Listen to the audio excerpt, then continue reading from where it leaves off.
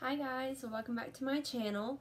So today I'm getting into part 4 of my makeup collection series and um, today we're going to be touching on powders. Powders is my least favorite part, um, but it's a part of my collection so I have to show that in a video. Um, so this one's not going to be as fun as some of the other ones, but I want to include those just because, you know, it's a part of it. So um, if you guys are new to my channel, my name is Laney and welcome to my channel. If you guys have missed any of my previous videos, um, go ahead and check those out um, for the series. And um, yeah, so let's go ahead and get started.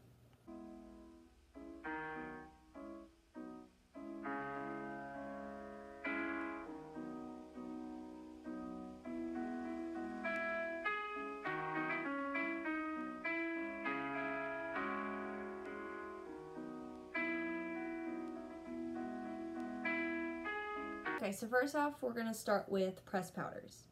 Okay, so I have five to show you guys that are pressed. Um, so this first one is the Makeup Revolution Bake & Blot Powder. This is in translucent. These pressed powders I like to use to set my under eyes because loose powders are really heavy under the eyes and they make my eyes feel very, very heavy, like I just said. But they make mine feel very heavy and sometimes suffocated because I have dry skin. But um, you guys can tell I've used a little bit of this. I like this so far. Um, I've been testing out new, newer pressed powders because I kind of stick to the ones that I love and know. Um, but yeah, this is a really, really good powder. Alright, next up we have two of the Essence All About Matte Compact Fixing Powders. This is my broken one. Um, but these are amazing. Um, in my opinion, they have a little bit of a chalky feel to them.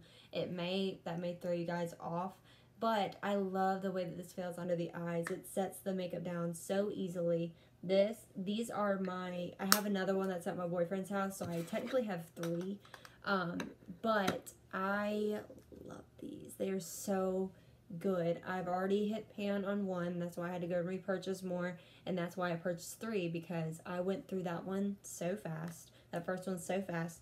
And these are inexpensive. I think I got these for like two forty nine a piece. They were on sale then. But even when they're not on sale, they're like $5 a piece. So they are really, really good and they last you a long time. And I love these. So I highly recommend these.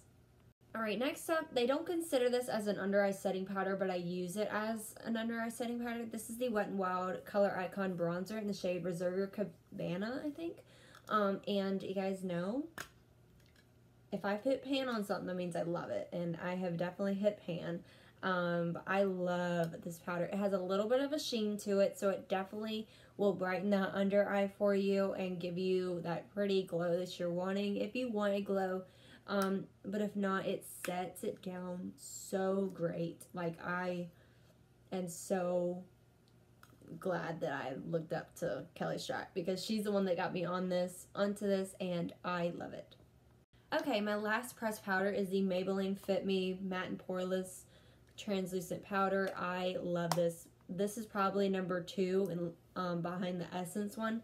This is so, so good. I can use this on my entire face and my under eyes, and it works like a dream. It sets everything down. Nothing moves. Nothing creases, and that's what I love about this. It's so good, so inexpensive, and I just love it. Okay, and now we're getting into my loose powder. So this first one is by Hard Candy, and this is their Shin Envy, she, sorry, Sheer Envy Loose Powder in the shade Translucent. I've used this a couple times. Don't know my initial thoughts on them yet just because I'm new to it. Um, but this is very inexpensive, so. Alright, next up I have the e.l.f. Um, HD Powder. I've been wanting to try this for so long, um, but I haven't, have I used this yet? No, I have not used this yet. This is brand new to me. I have never tried it. Um, but I had just, I've been wanting to try this for such a long time and never have. Um, and I finally went out and bought it, so I can't wait to try it. Let's stay on the e.l.f. train. Um, this is my last e.l.f. powder. Um, this is the e.l.f. Halo Glow Setting Powder. I have in the shade Light Pink. And I was kind of hesitant on getting this shade just because pink. But it is very beautiful. It's actually on my skin today. Um, but I love this so much. It is very, very nice. Um, has a little sheen to it when you put it on the skin, so it's not like mattifying your skin. It's giving it a little bit of a sheen, but it's not like overly shiny. Um, I love this so much. It is really, really good and very inexpensive. Alright, next up I pulled this guy. This is the Bellápierre Cosmetics HD Finishing Powder, and this is in the shade Translucent. I got this in a Glossybox a couple months ago, and I am actually, actually put this in my everyday makeup drawer so that I can try this because I have not tried it yet, and I really, really want to. I'd never heard of this brand before, so I'm excited to try this and um, give my initial thoughts. Okay, next up I have two powders from I Heart Revolution, and they are both the same one, just different scents. Um, they are the scented baking powders. This one is in peach and this one is in coconut. My favorite is peach because it has a nice little fragrance to it and it has a slight peachy undertone to it um, and sets the makeup down really, really well. The coconut sets it down really well as well, but I don't like the smell of coconut. Um, but this one is more of the translucent shade, so this one I tend to use more just because it's more on the translucent side. But if I had to choose one, the peach one is by far my favorite. But they are both still really, really good. Okay, next up I have the Wet n Wild Photo Focus Translucent Powder. This is a really, really good powder. Um, I've also been diving in and trying new, like, newer powders to me because I had stuck with the same powders for so long because I knew it worked for my skin.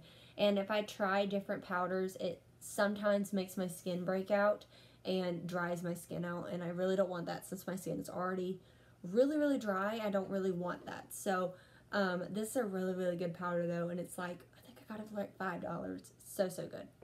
All right, next up we have the All Things Known Coty Airspun um, Loose Face Powder. Some just fell out. um, this is a really, really good powder for somebody with more oilier skin than me. I don't ever really use this just because how heavy the powder is. Um, so if you have more oily skin, this will dry you up really, really quick. Um, I have it in the in translucent extra coverage. This one is not my favorite. I have tried this one and another one. The one before that was my favorite. I think it was naturally neutral I think that one was my favorite it was so so nice and very good on my skin um, this one is okay it's not my favorite though um, also the smell is very intense so that's another reason why I don't use it that much Alright, next up we have the CoverGirl Trublend Minerals Loose Mineral Powder. This is my last powder. Okay. Um, um, I got this because of Kelly Strack. I love Kelly Strack and her opinions on makeup. Um, I got this because she said that she uses this as like an all over setting powder sometimes, or under eye setting powder sometimes. And I was like, hmm, well, let me try that because she has dry skin like I do. So I was like, well, if it works for her and she's got dry skin, let me try it because it may work for me as well. Um, and it did. It works really, really good. This is a little bit too dark for my under eyes though, but I use this for the entire face and sometimes I will set underneath the eyes, especially if like I have a little tan like I kind of do right now. Um, but I love this powder. It's so, so good. Alright guys, so that is it for part four. I hope you guys enjoyed. Um, wasn't very that fun. wasn't that wasn't that very fun? No, was not. but um I had to get that over with. So um I hope you guys enjoyed and I'll see you guys in part five.